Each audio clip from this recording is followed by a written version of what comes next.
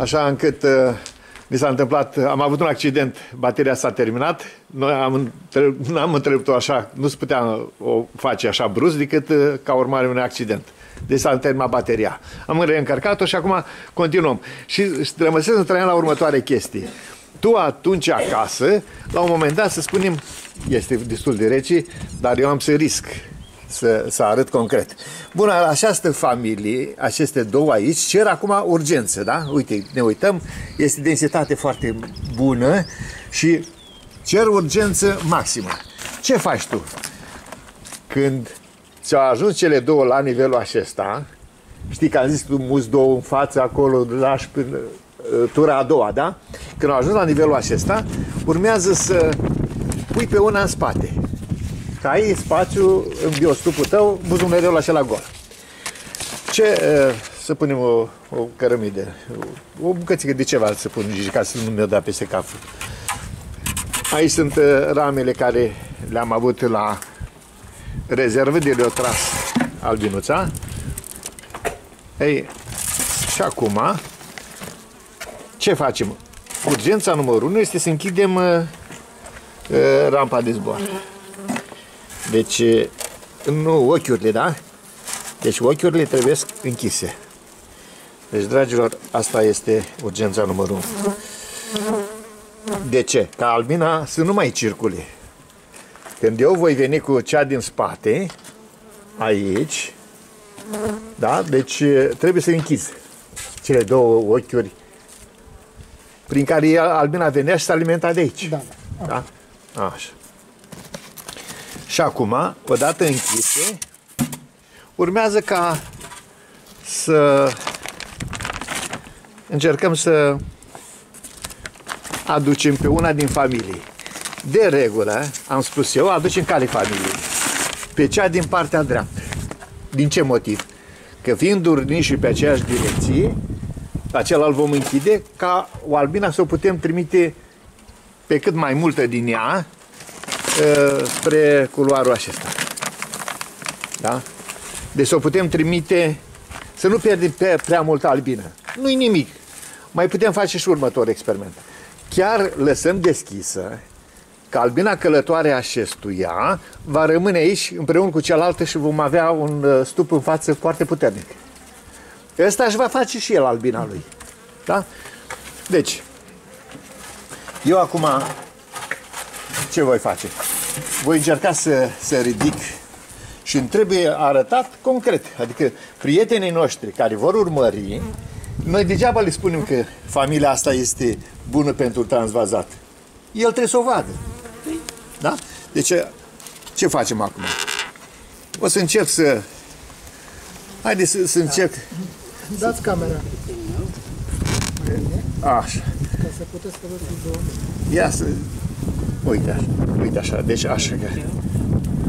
Ei, ridică tu, hai, hai. Uite așa.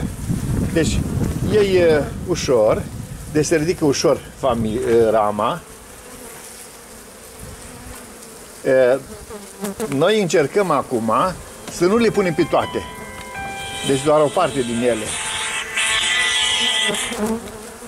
Așa. E, Cine mă sună? Nu știu. Uh, sigur, ar fi trebuit un pic de fum, dar iată, ne grăbim și graba strică treaba. Da? O punem în spațiu gol din spate. Avem Asta e șansa biostupului. Avem tot felul de posibilități, funcție de nevoile concrete. Să fac fum? Ia să vedem. Este agitată că e Ia, tot și un pic de fum, dar între timp eu am să încerc să mai continui. Deci, uh, o să ridic a doua ramă. Iată cum procedez. Eu trebuie să urmăresc dacă duc tot, dacă duc, duc tot nucleul, nu mai am nicio bătaie de cap. M-a cam și găsit-o, Traian. Uite-o acolo, uite, să le arătăm prietenul noștri. Acum, dacă eu nu vreau să iau tot, înseamnă că trebuia să iau matca urgent. Deci eu trebuie să mă asigur că am luat matca. Din ce motiv? Dacă rămâne acolo matca, am stricat toată joaca. Nu? Adică ăsta se orfanizează în condițiile astea. Și eu nu permit să fac asta. Ei, pentru, chiar pentru ideea pe care trebuie să o ai, nu, în clipa asta, n-am să iau toate ramele.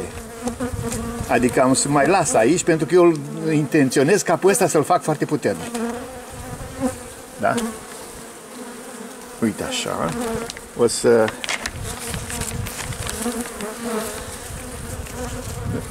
Ducem cu rama la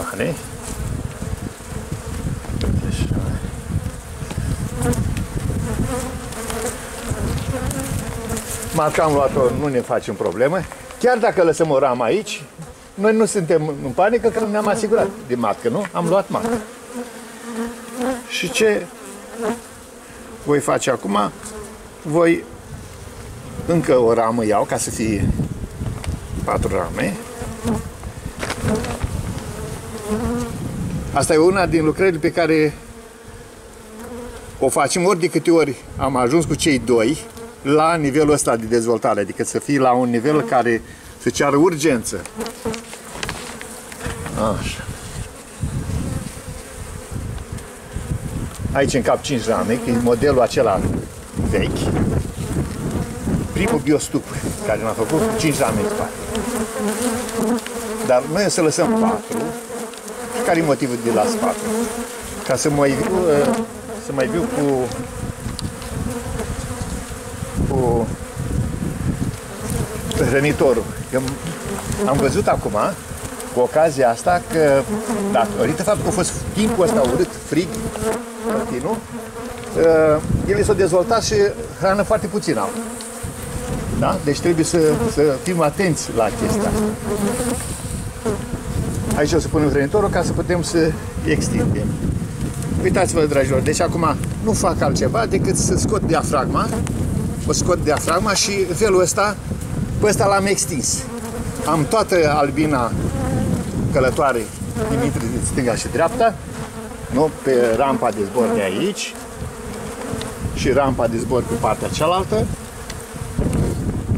Deci voi, voi ridica diafragma. Acum o să-mi trebuiască două mâinile.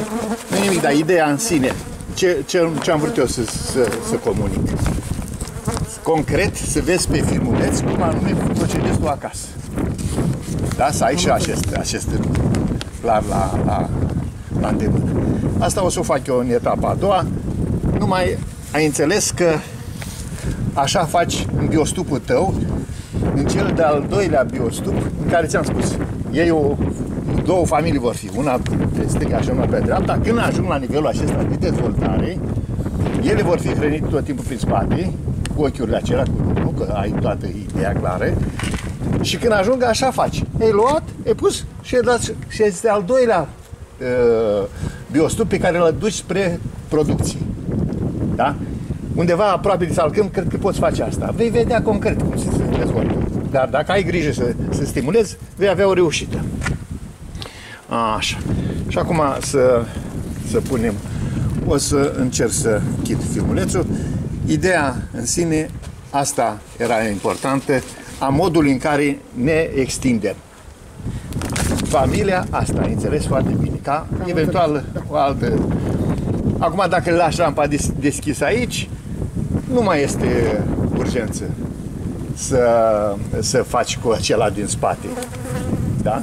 De ce nu mai este urgență? Pentru că ea oricum se va duce. Albina călătoare care știe, iese de aici și se duce acolo iese de aici și duce acolo. Până când alte, dintr-o altă generație va ieși pentru prima dată și ea se va întoarce. Când vei vedea că începe să intri, când vei vedea că începe să intre și pe rampa asta de zbor, acum trebuie să-i dăm drumul la rampa de zbor urgent, atunci înseamnă că nu mai facem experimente de altă natură pentru că e vânt, e frig. Da? Da, pentru prietenii noștri să înțeleagă biostupul cum poate fi folosit în fiecare echipă, în fiecare etapă. Deci, acolo unde s-a iernat pe doi, nu? pe două familii, să zicem, pe două nuclee, pe doi roi. Ei s-au încălzit foarte bine și în primăvară au ajuns la nivelul acesta, de dezvoltare, atunci ai tras, ai desfăcut-o și totul este perfect. Da. Uh, vom mai vedea ce alte discuții vom purta. Ne oprim aici.